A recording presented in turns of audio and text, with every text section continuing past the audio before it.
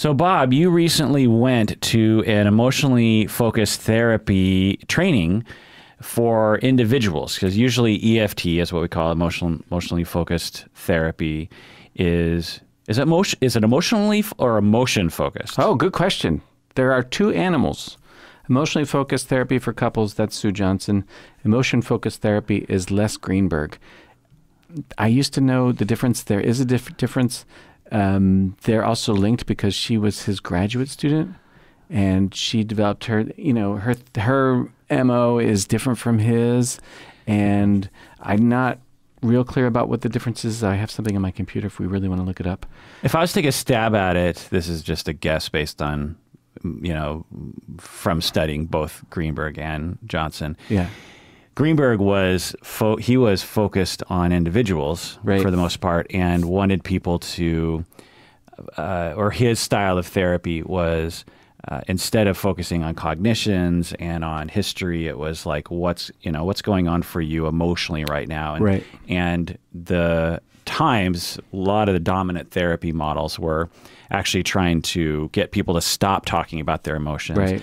To get them, you know, to, that emotions were like these pesky things that were remnants from our past, you know, uh, evolution. They were, and we still kind of talk this way. It's like I was on the road, someone cut me off, and my my reptile brain kicked in and I wanted to kill that person. Right. Well, we can all say like, well, okay, that emotion is something that we don't want to value or or guide our behavior. Right.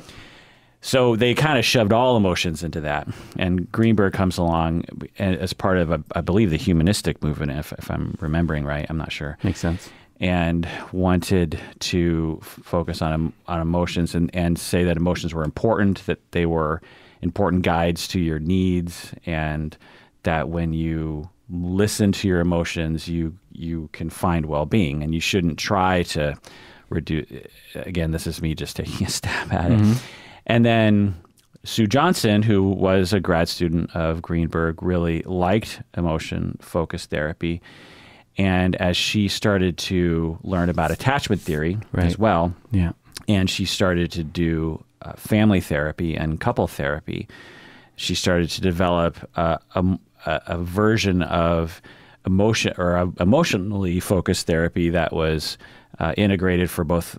Uh, integrative of both what Greenberg was talking about and attachment theory, Attachment theory. while applying it to systems, and communication and in the room bonding and helping people to meet each other's attachment needs. Um, so that's my I think guess. that's true. Yeah. Uh, so we can say emotion focused or emotionally focused, I, I guess. But we're, what we're talking about with you here, Sue Johnson's emotionally focused Yes. therapy, normally for couple Couples. and couples and families. Uh, but you went to a training for using this model EFT with individuals. Is that right? Yes. They call it EFIT, emotionally focused individual therapy. EFIT. EFIT, because we need another acronym. Right. Sounds. I mean, it sounds like a wearable, right? A device. An EFIT. yeah. There probably is an eFit somewhere out there. Oh yeah, there's a Fitbit. There's an e-commerce. Right. uh, so uh, I thought we would go into that. Sure. But first, let's introduce the podcast. Well, give us a taste a little bit of, of what we might talk about today. It's like going on the holodeck of the Enterprise. Honest to God. What do you mean? EFIT, e, uh, EFIT is um, is actually working with. Um, uh, they don't say it like this, introjects, but it's literally like you make a hologram and you interact with the hologram, or the hologram is already within you and you interact with it, and that's as good a tease as I'm going to give you. So you're saying that the model proposes in session that you it's empty chair work essentially? Well, without the empty chair. Yeah, they don't do the. She said, we, we don't do the furniture moving. That's how she put it. It's very funny. Um, So you imagine someone Yeah. and interact with that person. yeah, and and imagine that person's interacting with you, and this is all acted out. Interesting. Yeah, and it it integrates all of emotionally focused therapy, but also can be used with individuals and helps people with their attachment, Attachment. recovery, recovery. um, and can potentially change their attachment style from more insecure to less insecure. That's the goal.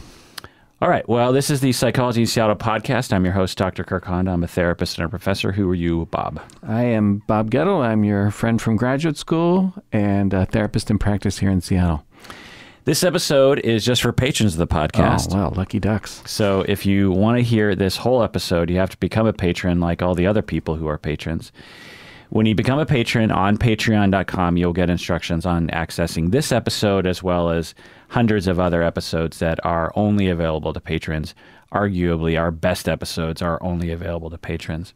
So go to patreon.com, become a patron of the podcast, and know that part of your pledge goes towards various charities and scholarships that we support. We're actually giving out our third and fourth scholarship uh, soon. Wow. Uh, or uh, the deadline for the scholarship application is the end of December 2019.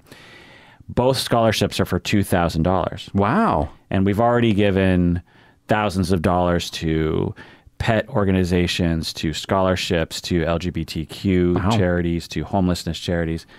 Yeah, I mean it's really quite special to and it's not my money. It's it's the listeners, it's the patrons' money Yeah. that I just take a little bit off the top and I funnel it towards these organizations. So patrons out there, or if you're considering to become a patron, uh, know that when you become a patron, you're you're supporting efforts like that. You're helping someone get through graduate school. One of our scholarships, the one of the two thousand dollars scholarships, was actually a donation from an anonymous listener who just gave me two thousand dollars to give to us uh, a student who needs that money. Wow. Yeah, anonymous too. That's lovely. Yeah. Yeah, it wasn't me. So become a patron at patreon.com and be one of us. You're wearing a Patreon t shirt.